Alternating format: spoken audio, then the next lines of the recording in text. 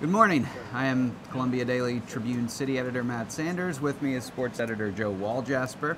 Um, welcome to your week. Uh, the big thing in news that we're covering this morning is the aftershocks of something that happened last week. Uh, of course, on Friday, President Trump signed an executive order uh, putting a freeze on some immigration, particularly people from seven predominantly Muslim countries.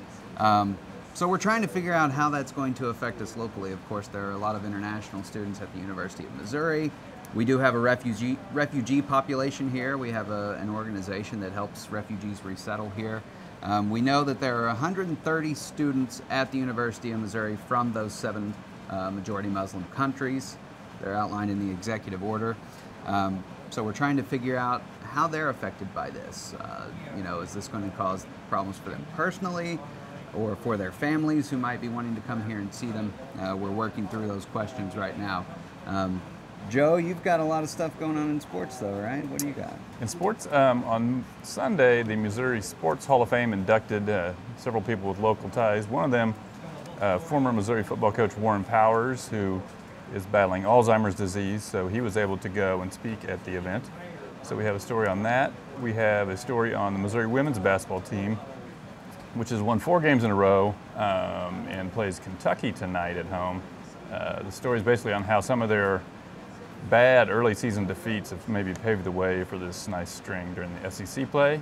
And then lastly, we have uh, football recruiting news. Uh, Missouri got a little bit of tough news on Sunday. A uh, kid from Kansas City, Jafar Armstrong, who had been committed to them for a long time, changed his mind uh, and decommitted. They did, however, I think pick up a few more commitments uh, from people who visited this weekend, so kind of win some, lose some on the football recruiting front. So National Signing Day for football is coming up on Wednesday, so we'll have some recruiting news for you. All right. Well, let's hope that they uh, can get a pretty decent class this year and start uh, climbing back up the ladder. Uh, some other things that we have in news uh, right now, actually, you can read on our website about a rally yesterday. Uh, started at Peace Park and went to the Islamic Center uh, it was also a reaction to the executive order signed Friday. Uh, it, was, it, was, local people showing solidarity with, uh, with Muslims who live here in our community. Uh, they went to the Islamic Center, put flowers on the, on, on the steps of the Islamic Center.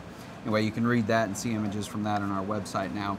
Also, Roger McKinney uh, on the K through 12 beat is working on a story about a survey uh, Columbia Public Schools are trying to decide a name for the new elementary school in East Columbia to uh, replace Cedar Ridge. So look for that later as well. As always, you can reach us via our uh, social media channels on Twitter and on Facebook.